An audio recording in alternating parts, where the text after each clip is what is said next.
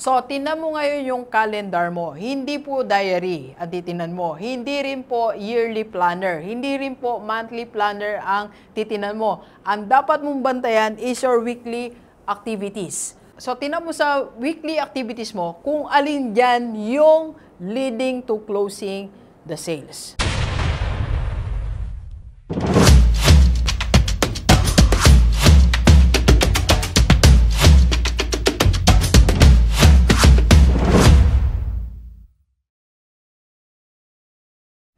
Okay, Gilivers, share ko lang po sa inyo ah, the different tools para mas mag-increase ang inyong personal sales.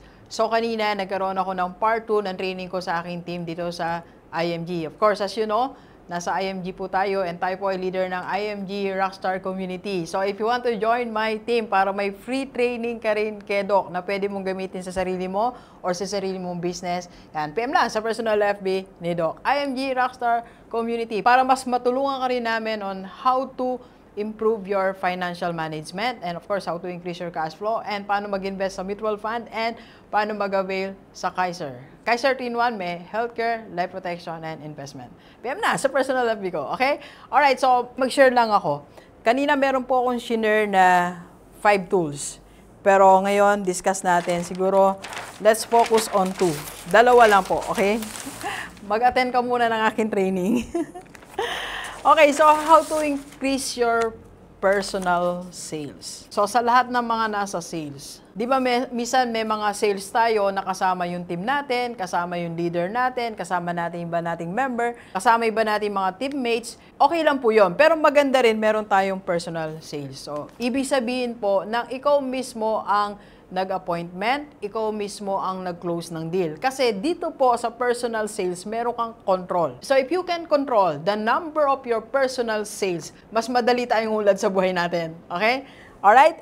So I have five tools po na diniscuss on how to increase your personal sales. Mag-discuss lang ako ng dalawa. Okay? So first, kung ikaw ay nasa sales, kailangan meron ka pong tinatawag na weekly activities.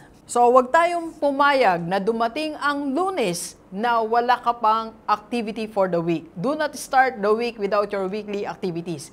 Kailangan nakalatag na po ang yung Monday, Tuesday, Wednesday, Thursday, Friday, Saturday, and Sunday activities. So, yan po ang aming ginawa kanina. So, let me show, no? Kanina diniscuss natin.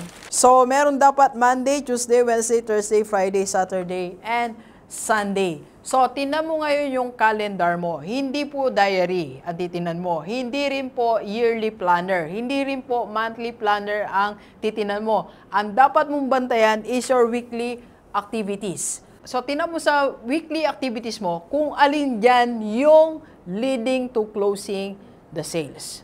Okay? So, try to review your weekly activities. It's your first tool. Kaya bukod sa planner mo, kailangan meron kang isang hawak na weekly activities. So, tinan mo, ano ba, puno na ba yung Monday ko? Puno na ba yung Tuesday ko? Puno na ba yung Wednesday ko? Thursday, Friday, Saturday, Sunday. Hindi pwede na nasa sales ka, na Merkulis na, wala ka pang ginagawa, wala ka pang personal activities. Hindi pwede Saturday na, wala ka pang ginagawa para sa sales mo. Okay? So, have your weekly activities. Okay? So, second, second tool na pwede nating gawin, okay, for your personal sales is work on your social media. That means maging content creator ka. Para sa akin, kung nasa sales ka, hindi pwedeng hindi ka maging content creator. Kailangan matuto kang mag-create ng content para sa sarili mo. Aralin natin.